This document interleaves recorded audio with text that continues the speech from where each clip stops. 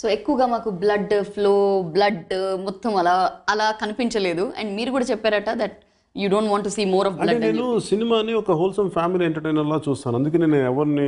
చావకూడదని చెప్పాను అందరి గాయ అందరి గాయాలు అవ్వాలి తప్ప అంటే సినిమా ఏదో వచ్చి బాబు ఇంత ఇంత రక్తం ఏంటి అంత రక్తపాతం ఏంట్రా అని చెప్పి నేను నాకు ఎక్కువ చిన్నపిల్లలు ఫ్యామిలీస్ లేడీస్ అందరూ అంటే అందరు ఫ్యామిలీ సహా వచ్చిన వైలెన్స్ని ఎంజాయ్ చేసే వైలెన్సే అవ్వాలి తప్ప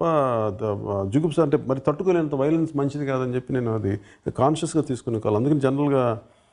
దెబ్బలు కూడా గుండెలకు తగలు అందరు ఇక్కడ చేతులు తగులుతాయి ఇలా తగులుతాయి పడిపోతా అట్లాంటి అది కాన్షియస్గా చేసింది